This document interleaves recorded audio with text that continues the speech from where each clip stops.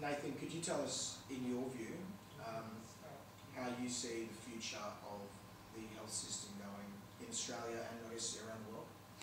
Well, I'm a futurist, so I study futuristic technologies.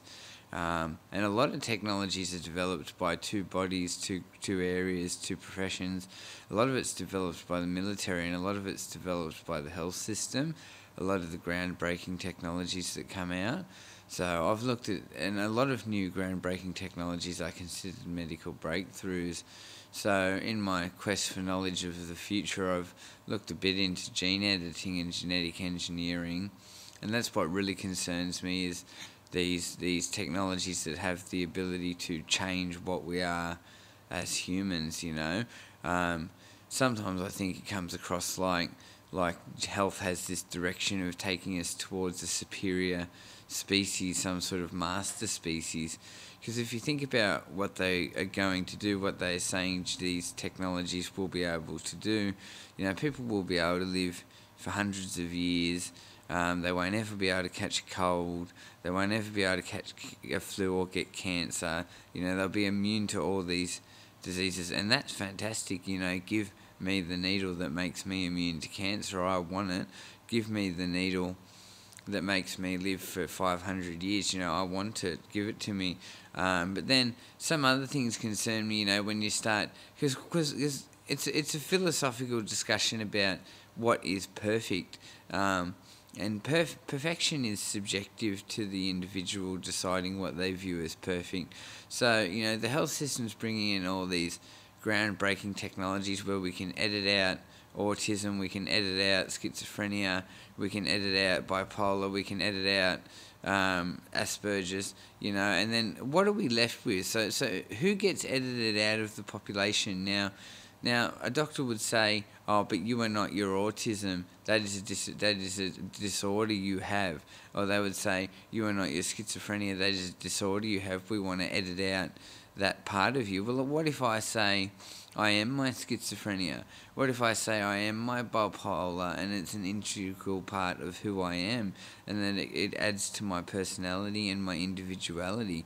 So, you know, what concerns me about moving towards gene editing in particular is that doctors are already putting all these people into all these categories. You know, psychiatry is going berserk with categorizing half the population with having disabilities. So we're putting all these boxes, people into all these boxes of bipolar, schizophrenia, Asperger's, and all these different conditions that apparently everybody has. And it's like, these are the people they're going to edit out of the gene pool when they can do it. And you know that technology is less than hundred years away. You know, it's, it's less than hundred years away that we'll be able to get at an embryo before it's born um, and edit out any deficiencies. But what is a deficiency? You know, isn't it a bit subjective? Um, I I view bipolar people as highly creative.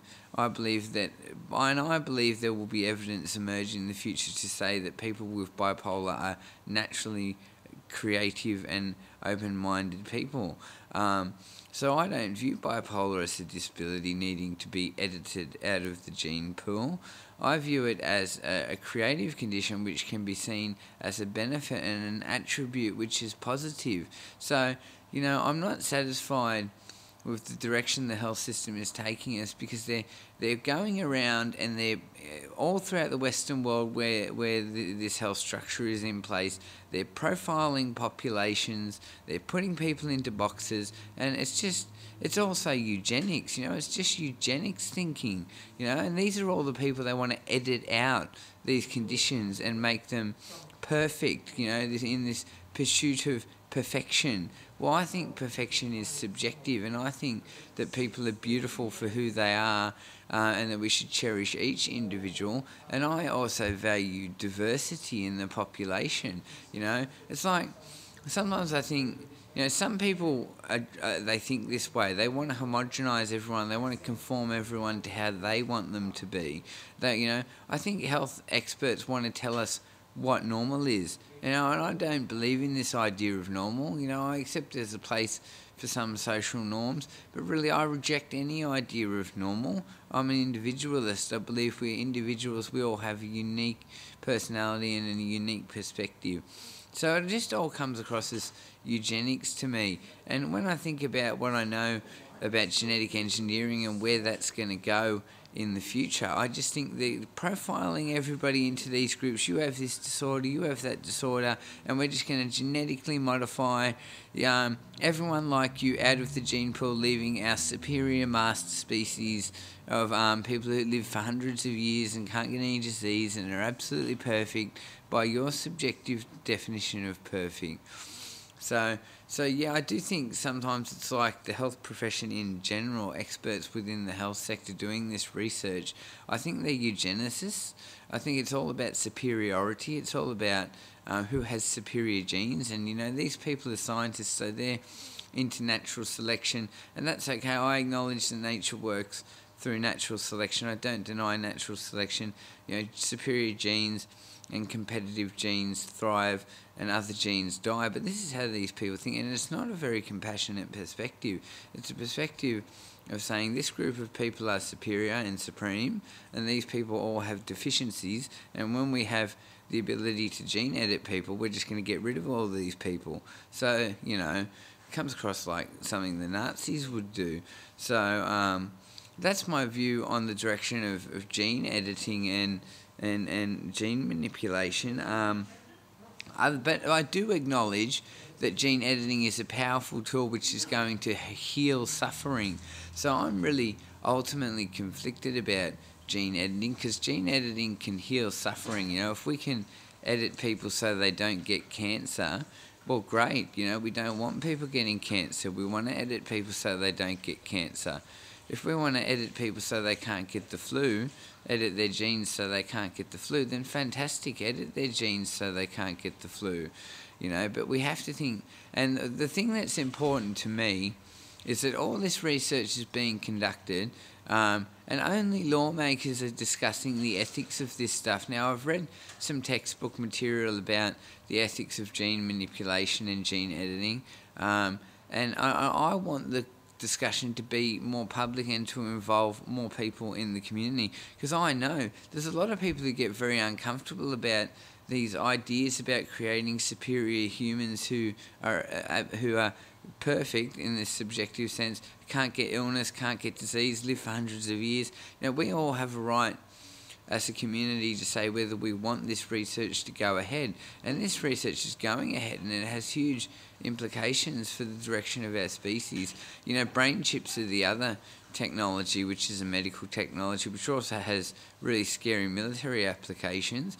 But brain chips are a medical technology, and again, I acknowledge that brain chips have the potential to heal people and to improve quality of life. Um, I read an interesting article by an academic which said when, when the brain chip comes in, we're going to need new regulations and laws to protect people's cognitive liberty. And what she means by that is if, if, if, if, if it's possible with a person who has a brain chip to manipulate their thoughts and to program them to think a certain way, well, we need laws and regulations when the brain chip comes out that make sure that no state or other um, body has the ability to hack into a person's mind and rearrange their thinking, especially businesses seeking to market content straight into people's heads. Um, the thing I think about the brain chip is whenever, see, I reckon in 150 years, 90% of the human population is going to have these brain chips. And the reason I think that is because when the cell phone came out, there was all these people who rejected this technology and said, you know, this is going to enslave us to technology. Everybody can't live without their cell phone now. We can't live without our mobile phones. And in 150 years, everyone's going to have the brain chip and they're not going to know how to live without it. Inf- and I do think information technology like this can be powerful. It can increase knowledge and intelligence. But there are concerns about the brain chip. Um, um, and there are concerns that people will lose their individuality. And you know, what if everyone who's networked with the brain chip suddenly starts to think the same as each other? You know, so you know, when we talk about health, we have to talk about futuristic technologies that are really going to transform humanity.